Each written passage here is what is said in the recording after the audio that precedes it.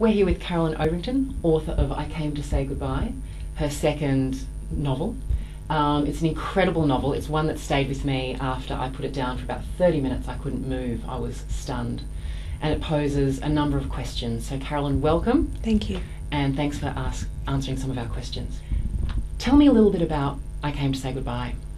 The novel starts with a woman walking into a hospital ward in the middle of the night and from the babies that are lying there asleep, she selects one, removes it from the hospital, and drives away with it.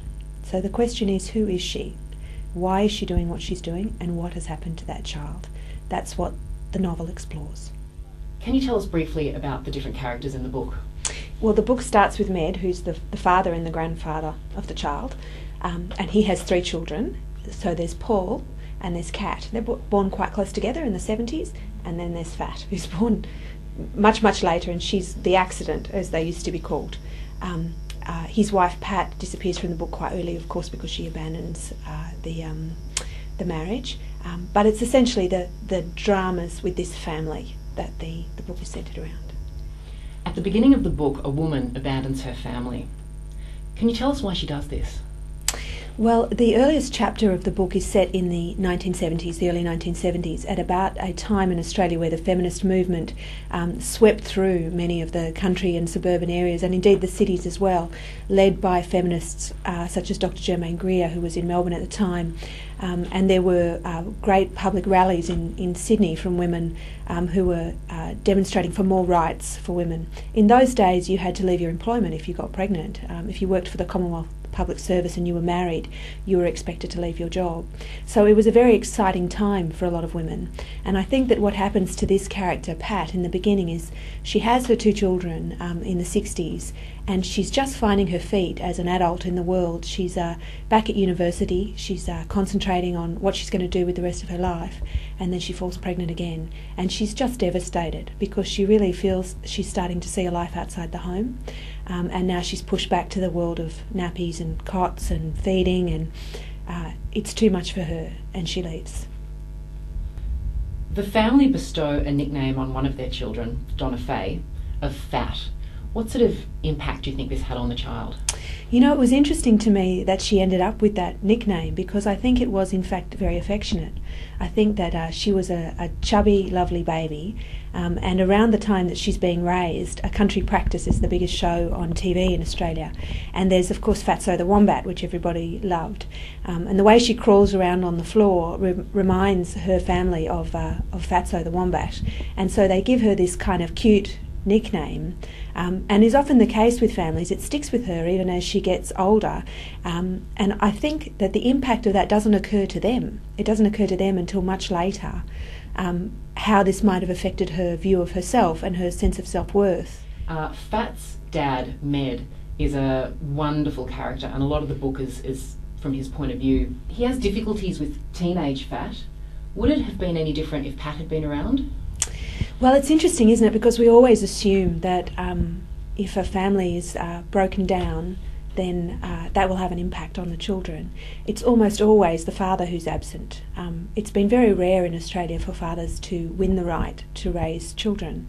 Um, and in fact, the few times that has happened, the mother has had to have been such a terrible person, an alcoholic or a drug addict, or, or she abandons the family. It, it's almost never the case that it's considered in the best interest of the child to be with dad. But it does seem to me that Med does a pretty good job, given that Fat is a really unusual child. Um, and I hope it's clear from the book that even in her uh, very young days, she uh, has some special problems. There are er- very early signs that things are not all well with her. Um, and of course, that precedes her, her great breakdown in her early 20s. Um, it's often the case with people who have, an, have a breakdown in their early 20s that there are signs when they were younger um, that an inability to concentrate at school, an inability to make friends, often feeling a bit um, out of it with their peer group, often the one that's teased. Um, and it's because they have um, real problems running through their mind. The mind isn't working properly. And given all of that, I think he does a pretty good job. As a young woman, uh, Fat has a child, Seth, and something happens to Seth. What do you make of the welfare department's decision to remove Seth from his mother's care? Well, you know, that was interesting to me that they decided to do that because it was never clear that she actually had anything to do with the injury to Seth. She was obviously out working, um, stacking the shelves at Coles at the time when he became injured. Um, there is a school of thought in Australia at the moment now that um, some parents, not all parents, but some parents might shake a baby, and if the inju- injury is not catastrophic, um, it's not a bad idea for the baby to go home because maybe it happened in the first 10 weeks when they're just so tired and they had no idea what they're doing and the baby won't stop screaming and it was a moment of madness. Um, to take that child away and send it in and out of foster homes, it never really knows where it belongs, no one, you know, committed to it by blood ties and, and genuine love, um, is not necessarily the best outcome. If you can go back to the parents and say, well, look, what you've done here is, is outrageous, it's monstrous, you cannot treat a baby that way, and give them the skills they need, then maybe there's a way to hold the family together. And I thought that there was a possibility for Fat in particular to help her stay with her son, not just take him away and put him in limbo, but to help her learn to look after him because she's obviously not um, an extremely bright girl.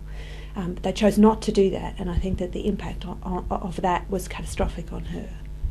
In Australia, most child and family court proceedings are held in secret. Do you support this policy, or should the media be allowed to report on these matters, provided the identity of the parties is protected?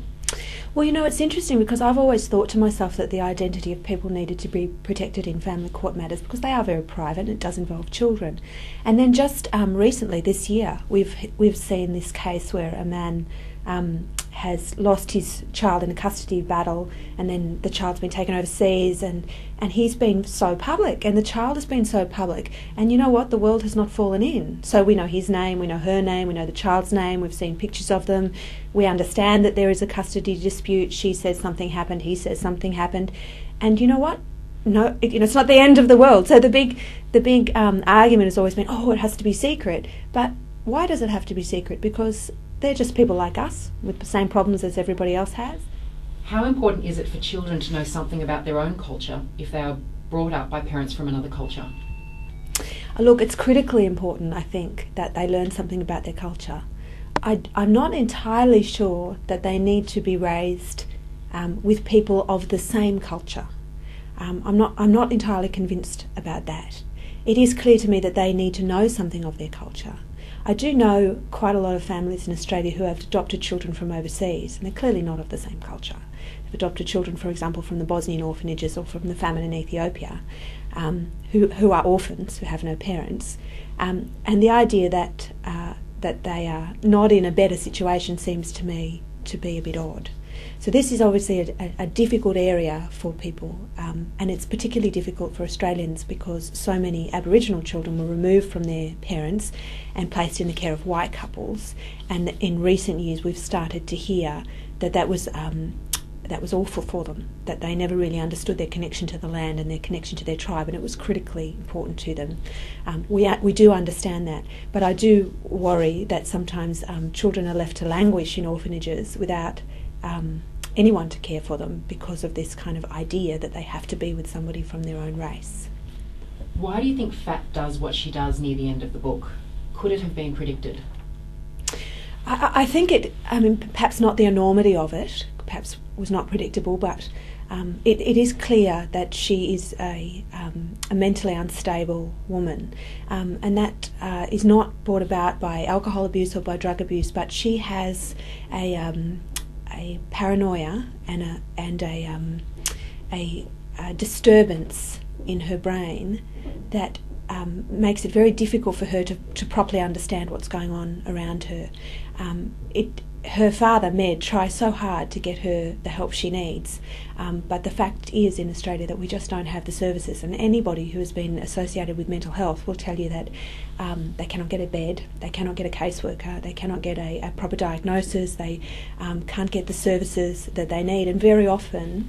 Um, like Med, they're left to try and manage on their own, and it's just impossible to know um, whether or not these um, these people are going to, to do something terrible or not.